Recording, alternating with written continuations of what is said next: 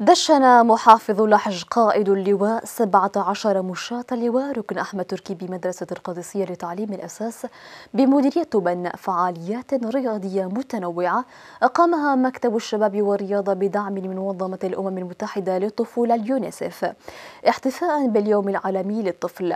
وأكد المحافظ على ضرورة نيل الأطفال حقوقهم المشروعة في التعليم والصحة والعيش الكريم والترفيه.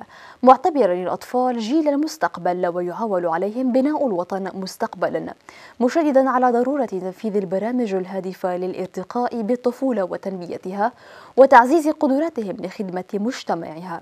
من جانبه أشار مدير مكتب الشباب بالمحافظة رائد جعفر إلى أن اتفاقية حقوق الطفل تضمن له المستقبل الأفضل إذا ما تم تأهيل له كل السبل الكفيلة بذلك.